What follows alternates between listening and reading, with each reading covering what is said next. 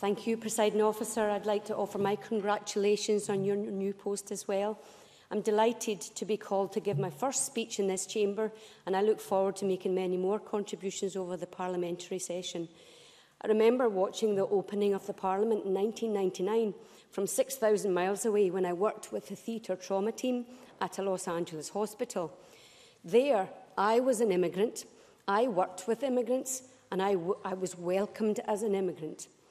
And indeed, healthcare across the world depends on immigrants. So today, though, I will focus on my region, the south of Scotland, but particularly an area that I'm very familiar with, Bonnie Galloway, because I grew up in Stranraer. Before I continue, though, I'd like to begin by recognising the significant contribution of former South of Scotland MSP and Government Minister Aileen MacLeod. Aileen worked hard for the people she represented and in government she was a driving force behind the land reform bill and a proponent of climate change reform. I would also like to wish former constituency MSP for Galloway and West Dumfries Alec Ferguson well in his retirement.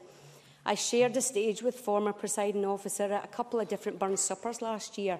We were invited to the same village halls. Indeed, the village hall burn suppers often demonstrate what great local talent we have for reciting the poetry of our national bard.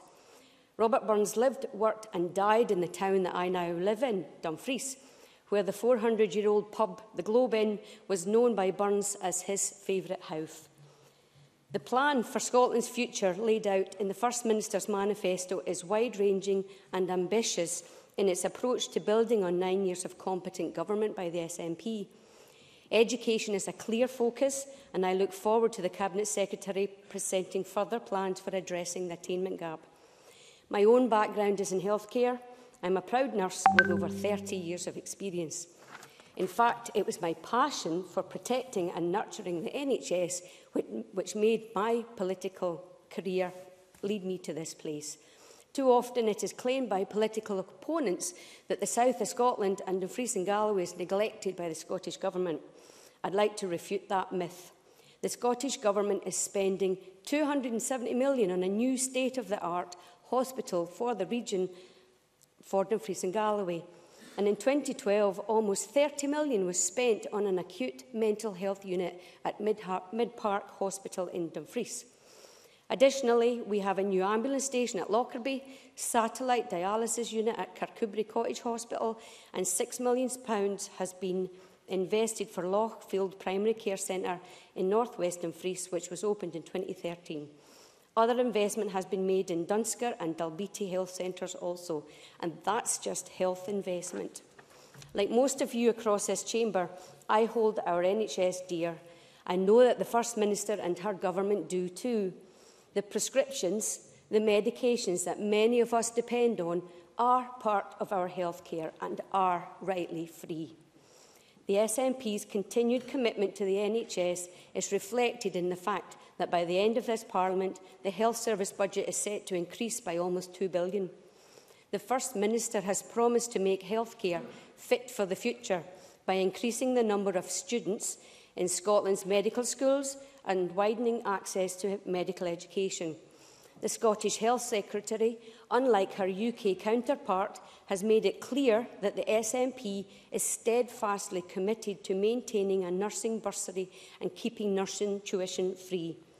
There will be a 5.6% increase in student nurse intake this year and a fund of at least a million pounds for nursing and midwifery students experiencing financial hardship. As a former clinical educator in NHS in Fries and Galloway, I am all too aware of the importance of these measures. They are, there are particular healthcare challenges faced by the communities I represent. For example, in the South West, we have a greater elderly population compared to other areas of Scotland, and older people are a great asset to any community. And an individual's specific needs must be met so that they can continue to live a dignified and comfortable life.